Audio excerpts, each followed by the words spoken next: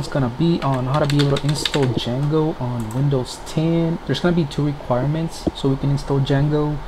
The most important one is you gotta have PyCharm and Python already installed on the system. PyCharm is optional as far as don't have to have it but it will make things very simple and also Python that's just required to be able to install Django so if you don't have Python installed I would definitely recommend to go ahead and go to your browser and Python and it should be the first website. Is python.org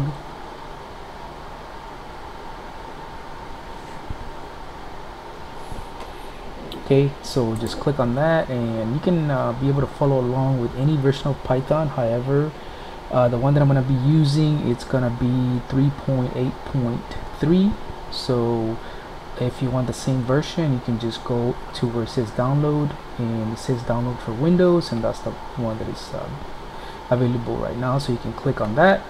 So okay uh, the only thing is I would recommend to first go to Windows okay and then under Python 3.8.3 if you want to follow along with that one is you want to make sure that you're getting the correct version. Sometimes people download the x86 and not the x86 64 so eh, the x86 is for the 32-bit um, and the x86 64 is for the 64-bit more than likely you want the x86 64 and I would recommend to go with the web-based installer okay? Um, and then after you have installed Python uh, make sure that you set it up to where it's going to be on your path uh, the way to check that is if you open up your CMD and you type in Python. It'll give you the version. If for some reason nothing's showing up then you want to go ahead and set it up to your path. So type in in the menu type in variables.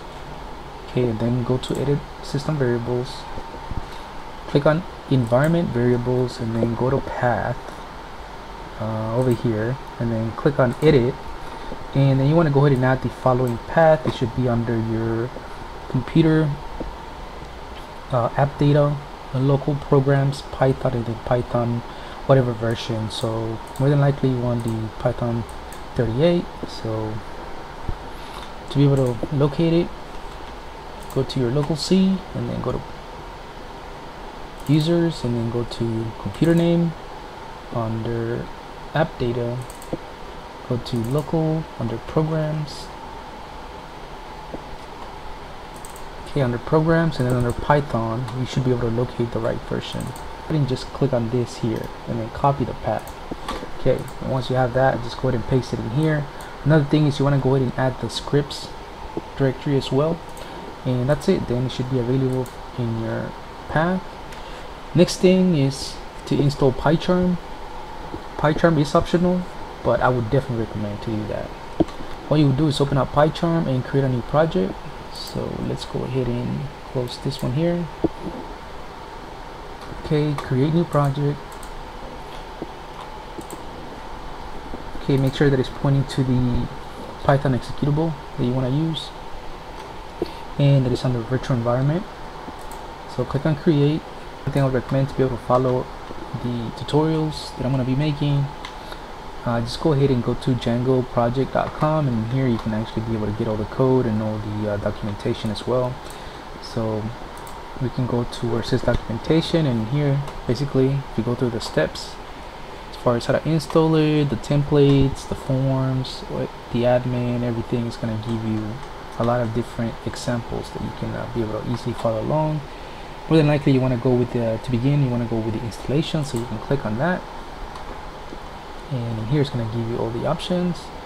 So to install it it's not that difficult okay? So to be able to install it you see the uh, options over here more than likely pip is what you want to go ahead and use. Uh, at least that's what I'm to be using in PyCharm. So let's go ahead and get started. Let's go ahead and open up the terminal and let's go ahead and type in the command. So the command is pip install Django.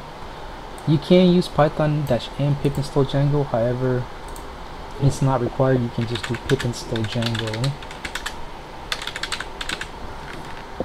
And press enter and that should go ahead and install it.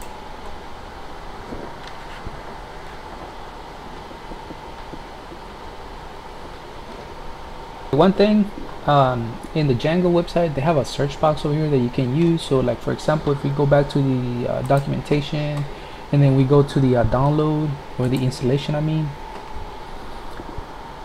and you try to follow over here like if you click on complete installation guide once you're done with the installation then it's going to take you to the models and the databases. Uh, more than likely that's not what you want to do. So you can use the search box. So let's say the first thing you want to go ahead and do is learn how to create an app. So just type in app. Okay and then in here um, we can see where it says writing your first Django app. More than likely this is where you want to get started okay and here it gives you some uh, other commands that you can use like to check the version of Django um, since we use pip it's actually pretty simple to be able to check I'll go ahead and show you how to do that once it's uh, finished updating uh, but the next step would be to go ahead and create the actual project for uh, Django that we're going to be working on. So uh, the convention is to go with my site, so we'll just go ahead and stick with that. It's uh, successfully installed, you can actually check the version uh, by typing it, typing pip show and then just Django, and this will give you the information about the uh, package. So it gives you the version, it gives you the summary, it gives you the home page, gives you the author, and even their email, the license, where it's located, and some of the uh, requirements as far as the packages that it requires in here. So it installed these packages. Okay, so let's go ahead and get started.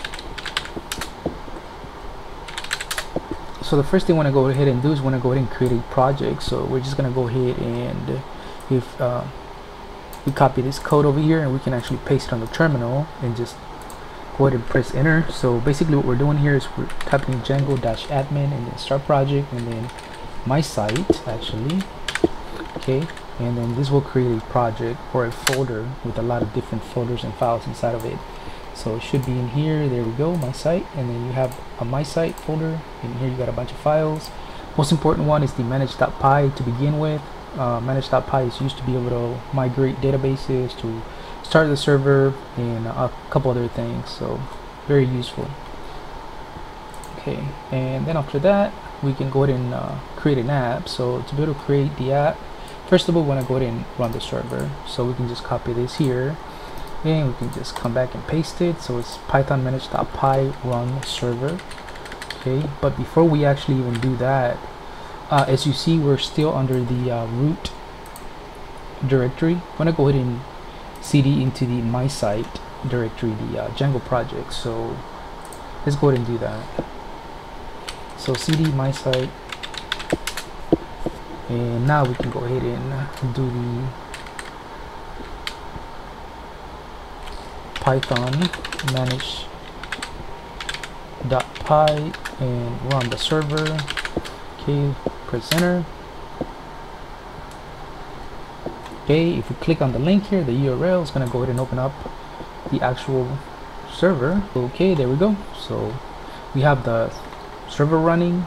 So we want to go ahead and leave that running um, and then we'll just go ahead and open up another terminal and then we're gonna go ahead and cd into my site again.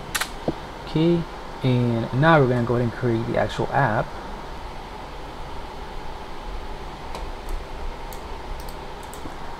Okay so we're gonna go ahead and paste the following in here. Okay so python manage.py start app polls. We're just gonna go ahead and stick with polls for right now. And press enter. Okay and you should get another folder over here within my site. Uh, it's called polls.